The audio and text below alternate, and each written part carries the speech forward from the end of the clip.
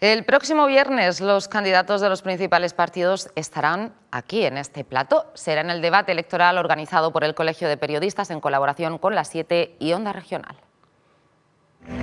En el Ecuador de la campaña electoral, los candidatos de PSOE, PP, Vox, Ciudadanos y Podemos tendrán la oportunidad de confrontar sus programas en el debate que organiza el Colegio de Periodistas, que será moderado por Luis Alcázar y Sonia Yan. Estoy contenta, estoy muy, muy nerviosa también por el reto que eso supone, porque soy profesional de radio, no soy profesional de televisión, hace mucho tiempo que no hago tele, pero bueno, muchas ganas. Para mí es un aliciente y un estímulo profesional, es una satisfacción, una responsabilidad que se me haya encargado moderar este debate y lo que voy a intentar desde este momento hasta que se celebre es que transcurra de manera impecable. Los candidatos tendrán que posicionarse sobre política económica, medioambiental, estado del bienestar, jóvenes y vivienda, transparencia y buen gobierno, temas que serán introducidos por otros cinco periodistas de la región. Se trata de una oportunidad única para los ciudadanos de eh, tener más elementos de juicio a la hora de orientar su decisión